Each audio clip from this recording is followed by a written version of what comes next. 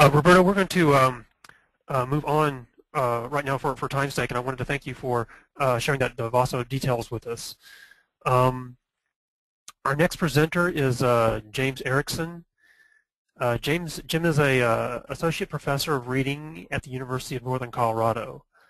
Jim has collaborated with K through 12 teachers to simultaneously teach and do research on reading, writing, oral language in elementary and middle school. He has presented his work both nationally and internationally.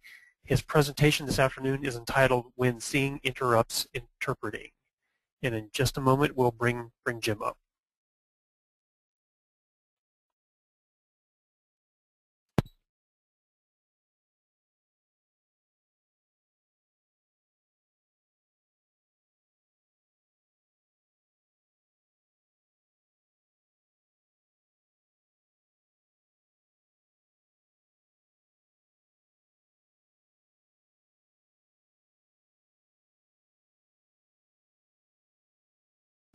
Otherwise. Uh, I'm hearing that I'm unmuted, and I'm going to go ahead and go forward. If, uh, if I have any issues with the audio, if someone would just quickly chat me, I would appreciate that.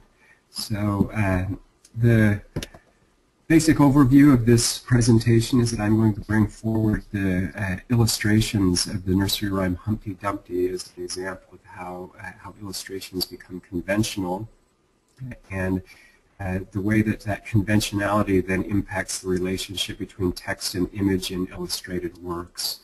And uh, moreover, to talk about how that conventionality closes the text to interpretation. I've got three key methods that I've used with uh, young readers and even my uh, college uh, children's literature courses to reopen those texts that have been closed by illustration. And then the last bit of that will be extrapolating and expanding on uh, that process to talk about how it impacts uh, visual literacy in general. So uh, the first thing that I want you to do is that everybody that can hear me, I want you to answer the question that I put up on the board here. What is the first answer that comes to mind when I ask, what is Humpty Dumpty? A little pregnant pause there for you to answer that question. Did you say egg? Uh, I have about 99.9% of responders that I've worked with on this that say that egg is the first thing that comes into their mind. Uh, I do have the occasional uh, uh thinker uh, who comes in and says, well, I think it probably means something like a, a king who has lost his position as a king and so on. Uh, but usually egg is the first thing that comes to mind. now what I want you to do with me is to look at the words I'll read those out loud. Humpty Dumpty sat on a wall. Humpty Dumpty had a great fall. All the king's horses and all the king's men couldn't put Humpty together again. My question changes now. In the words, where does it say egg?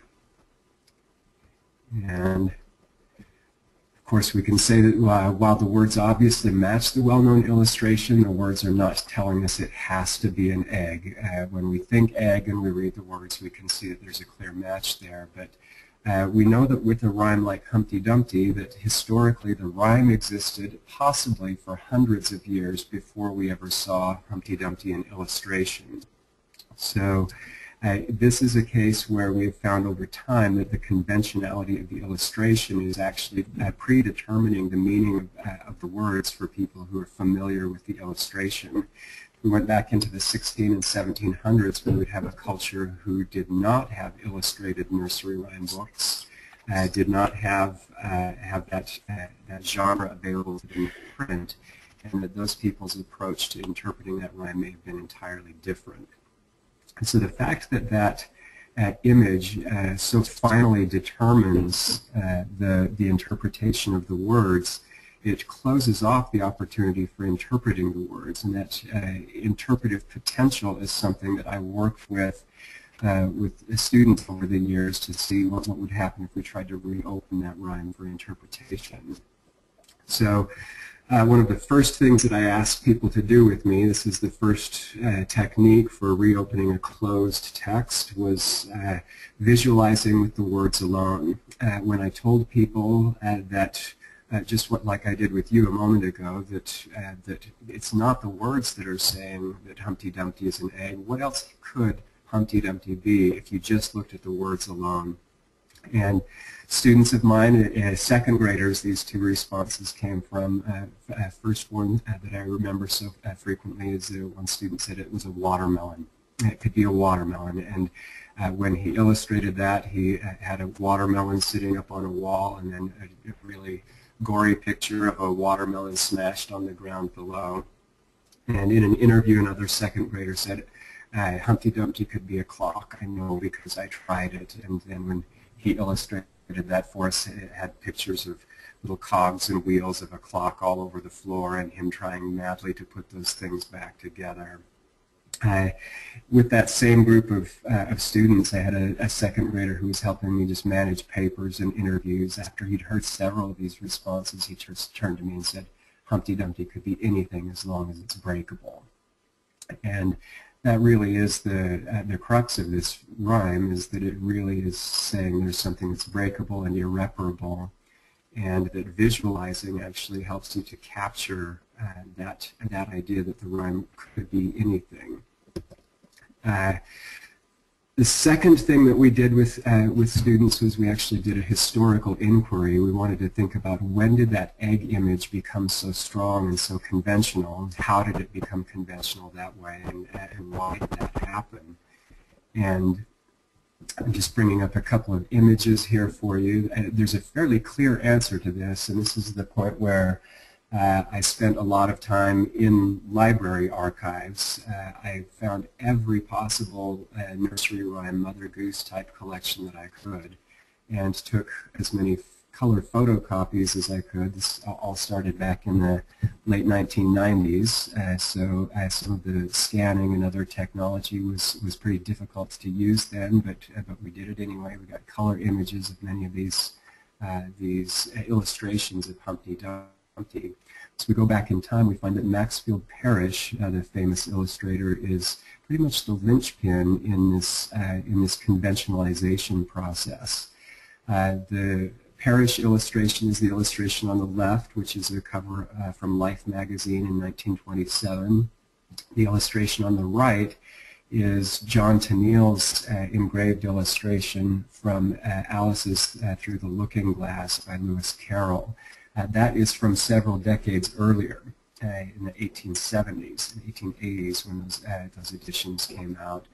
And so uh, what you can see is that, uh, is that by the 1920s that uh, extremely famous illustrator Maxfield Parrish was quoting elements from John Tenniel's illustration.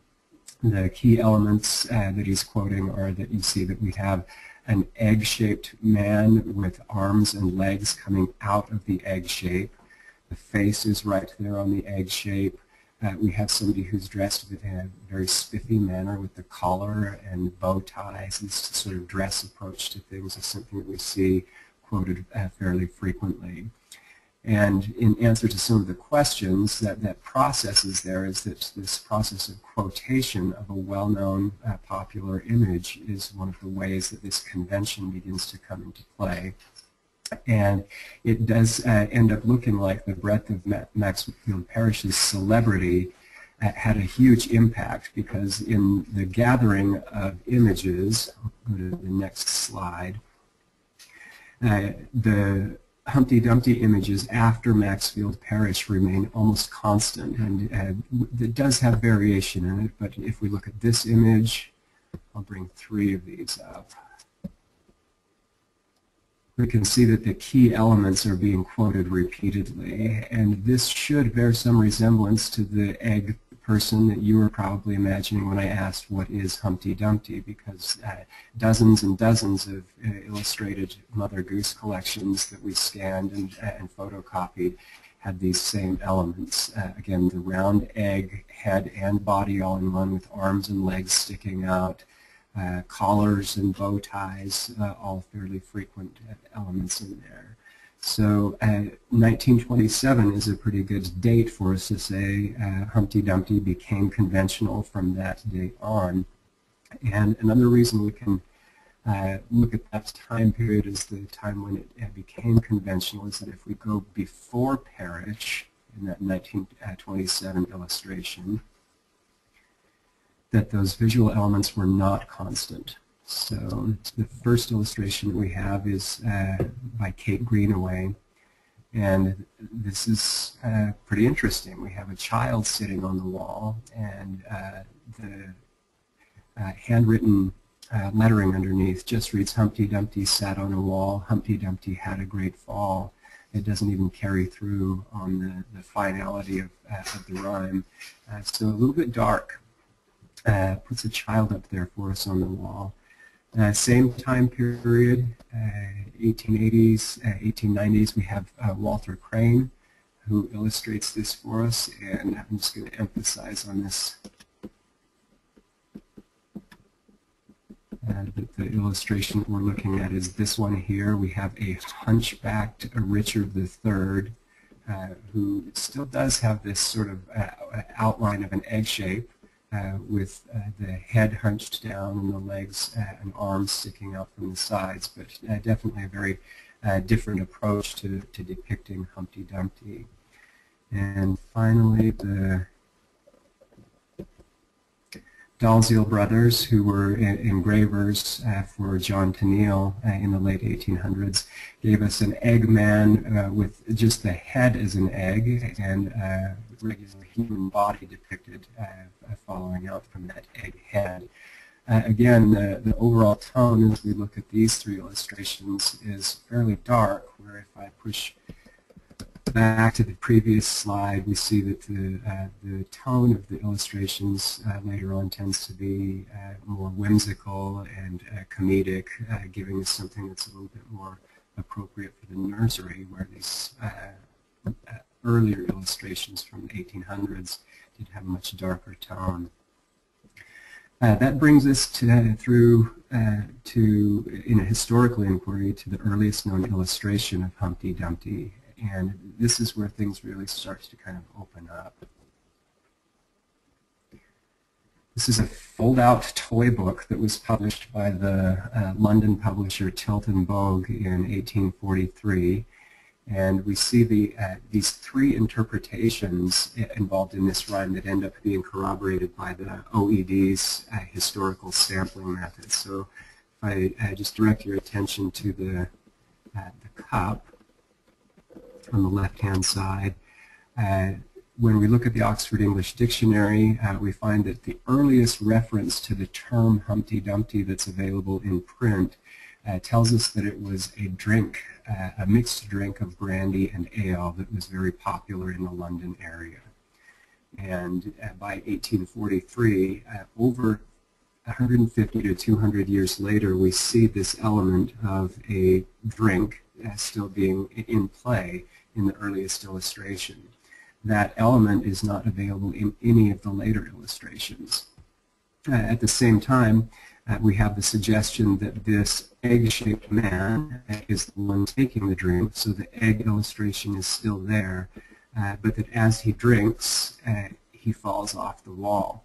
This leads us to the, uh, the other uh, explanation from the Oxford English Dictionary, which is that after a few decades of the popularity of the drink Humpty Dumpty uh, that a person who was a drunkard uh, with that sort of uh, uh tipsy, rotund profile uh, was called a Humpty Dumpty. Uh, so a person who was had the red nose and, and was portly and was found staggering out of the pub might have been called by others Humpty Dumpty as he walked down the street.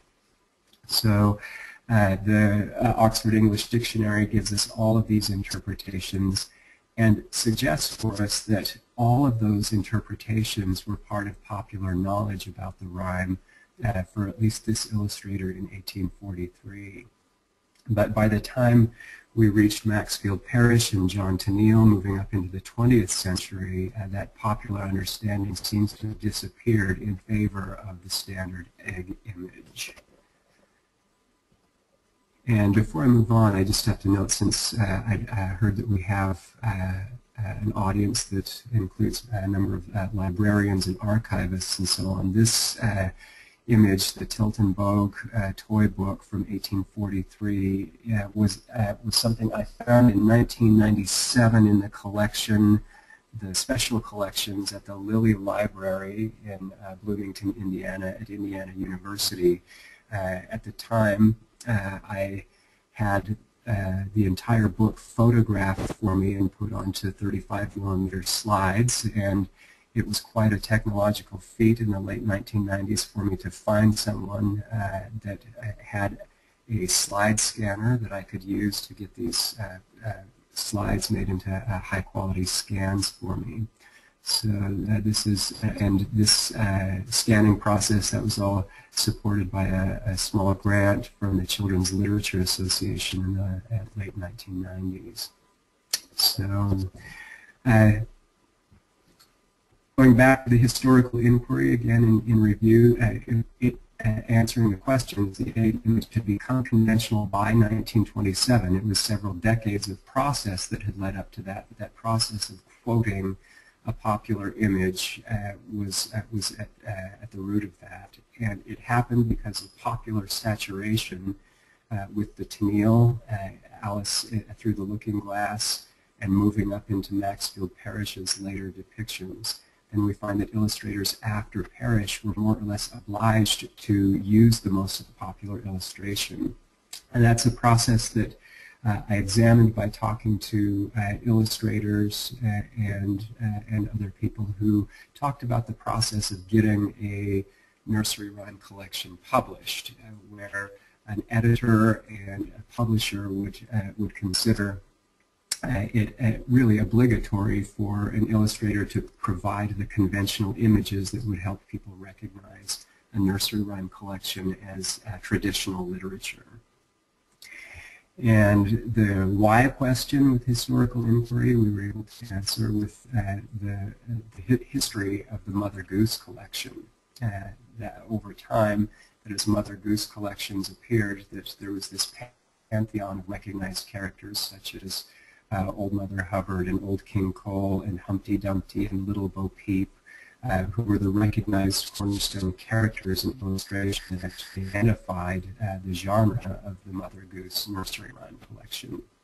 Uh, there was another piece in the process of that conventionalization uh, as time passed from the uh, from the 19th century into the 20th century, we saw that the genre was going through the process of domesticating and kind of uh, making cute uh, things that used to be uh, street rhymes, uh, pub songs, bar songs, drinking songs, uh, the songs that street vendors would sing. They were peddling their wares in, in British streets and so on. And over time, uh, what we saw happening was that anything that was more adult and uh, dark uh, tended to be removed and replaced with something that just looked like good, clean fun. So that idea of good, clean fun uh, prompted me to dig in and get some less-known rhymes out to people to see what they would do with them. Some of these less-known rhymes uh, I culled from uh, uh Peter and Iona Opie's book, The Oxford Dictionary of Nursery Rhymes, and also from James Halliwell's uh, collection from the 1840s, uh, right around the same time as that first illustration appeared uh, he published a volume called Popular Rhymes and Nursery Tales, and this is one of the ones that shows up frequently there. There was a man in our town, and he was wondrous wise. He jumped into a bramble bush and poked out both his eyes. And when he saw what he had done, and thought his little brain, I'll jump into another one and poke them in again. Uh, and this is one of the rhymes that I brought into students and asked them to visualize, and they would discuss their visualizations with me and also uh, make, uh, make their own illustrations of various scenes uh, from this rhyme. And the kids were pretty imaginative, even with uh, stick figures. The idea of getting your eyes poked out and then having them poked back in again was pretty generative. So Another less known rhyme uh, that was interesting for uh, visualization. Uh, dickory, dickory, dare, the pig flew up in the air, the man in brown soon brought him down, dickory, dickory, dare. Uh, we had uh, students that got really engaged in this because it's so open-ended. Uh, the pig flew up in the air. we had students who tried to answer the question of why would a pig be flying in the air, and of course some drew the pig with wings, but others drew the pig being flown out of a slingshot or a cannon, uh, and uh, uh, students also had various interpretations of how this man in brown might have gotten the pig out of the air. And uh, we had illustrations of butterfly nets and fishing poles and shotguns and other things that uh, were all involved in getting that pig down. And this process, uh, after talking about Humpty Dumpty, helped the students that I was working with to take an entire tradition, uh, an entire genre, and think about how visualization uh, was really the powerful way of reaching interpretation uh, with most of these rhymes. And looking at several rhymes that were not as conventionalized was an easy way to, to bring the power of visualization forward and to coach students to use that with this genre. So uh, not a lot of people spend a lot of time with nursery rhymes, so I'll just quickly uh, extrapolate here, and uh, then I'll get down to a couple of the questions that I see appearing over in the chat. So uh, texts getting close to interpretation. Uh, one of the other situations that I've seen where illustrations actually drive interpretation is the concept of the farm. Here's a, a cover from a recent book where we see all of the conventions at play. We expect a farm to have the uh, red barn and this whole menagerie of farm animals, and I've uh, noticed that many children, when we talk about farm, expect all of these things to be in play, and then they end up being surprised when we take them on a field trip to an actual working farm, and there's no red barn, and there are just a bunch of crops. Uh, no, uh, no farm animals, no red barn, no farmer in a straw hat. So uh, this is one situation where a, uh, a, cultural phenomenon has actually been driven by the conventional illustrations. Uh, understanding of farm life is, uh, is tricky to get to unless you actually start taking kids out and giving them the illustration. Another interesting tradition, uh, traditional text that I found uh, has been driven in many ways by the illustration process is uh, the uh, the Bible. Uh, this particular illustration, we can see the the story from the book of Luke in the Bible, and we see animals at a manger in a stable. What I've found by doing some of the same types of inquiry with this is that the words in the book of Luke never actually say stable. Uh, they say manger. And when we look at the historical approach to this uh, particular passage, we find that it's just as likely that that manger was out of doors. Uh, and we still see that today, that in uh, many rural areas, that places where we give hay to animals are out of doors as well as inside shelter. And so this is another area where uh, conventionality over time has actually come to determine the text. Uh, the last situation where I'm seeing this, and I want to pull it forward, is in the idea of a hero. So I have here a, a few panels from uh, an old Spider-Man comic book where we have a fairly typical approach to presenting Peter Parker as the alter identity for Spider-Man. Uh, more recently, in the past uh, few years, we've actually had uh, what's been called a reboot of the Spider-Man series, uh, the Spider-Man comic book, Uh, bringing back the hero as uh, uh, an African American Latino by the name of Miles Morales, uh, and that uh, the concept of hero for a very long time was something that was bound by color and other and other visualization conventions. So each of those three approaches that were used uh, were ways that we used to reopen a closed canonical text, and they uh, each of those methods uh, coached us back into revisualization as a way of reinterpreting the words. Uh, the upshot is, is that we can see that conventionality is a historical process, and I want to emphasize that historical processes in visual literacy uh, are as important as many of the individual psychological and developmental processes that we might see and talk about, such as perception. Um, and visualization itself is a, uh, is a fairly uh, strong theme in the Journal of Visual Literacy and in the study of visual literacy. It's something that I like to see go forward. And that uh, finally that we're not only in the business of critiquing images, but uh, this process of making images and imagining is, uh, is fairly central to, to what we do in studying visual literacy. I'm going to dig in into some of these questions because y'all have uh, started popping them up. Let's see. Back to normal non-drawing mode and get to where I can read all the questions.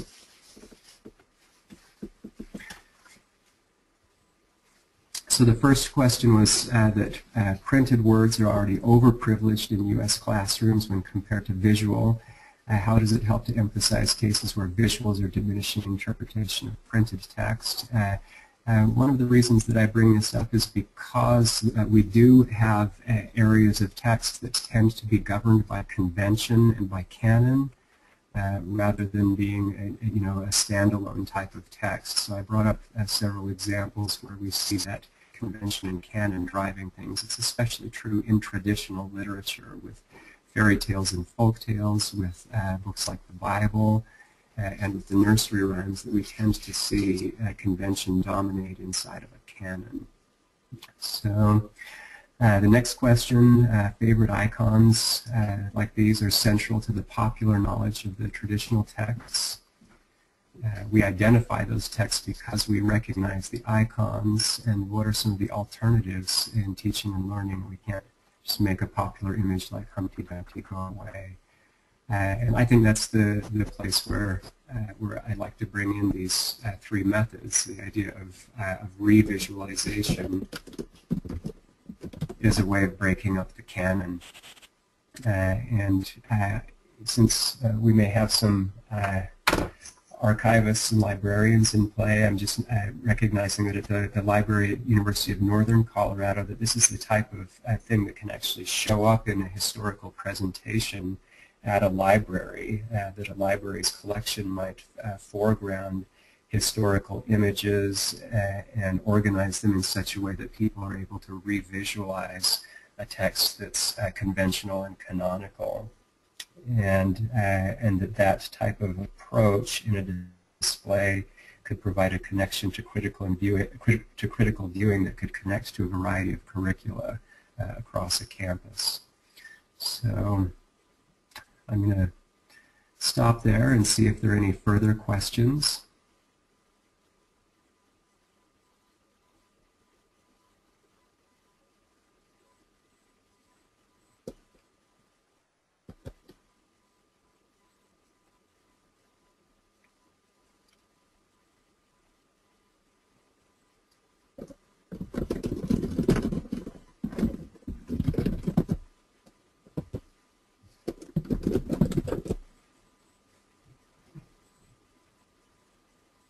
All right, I'm happy to uh, field any questions by, let's see, I'll just skip ahead on my slide to a,